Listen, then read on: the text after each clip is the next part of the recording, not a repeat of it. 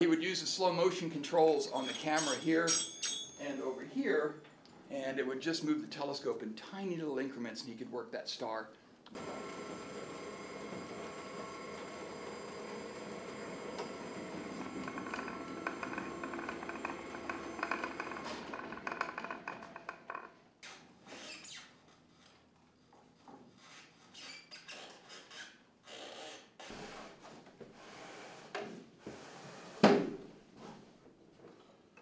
So this is very significant because it basically completes the, the, the first reconnaissance of the solar system.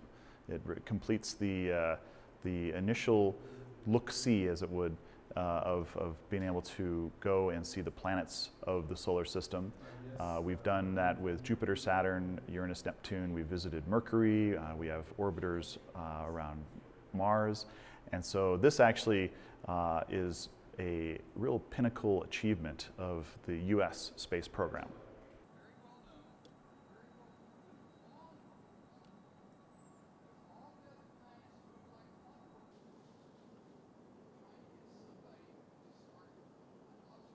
The New Horizons spacecraft will blast past Pluto, taking pictures of everything it can see. And so that's Pluto, that's Charon, and that is the other moons of Pluto. Uh, there are four other moons of Pluto.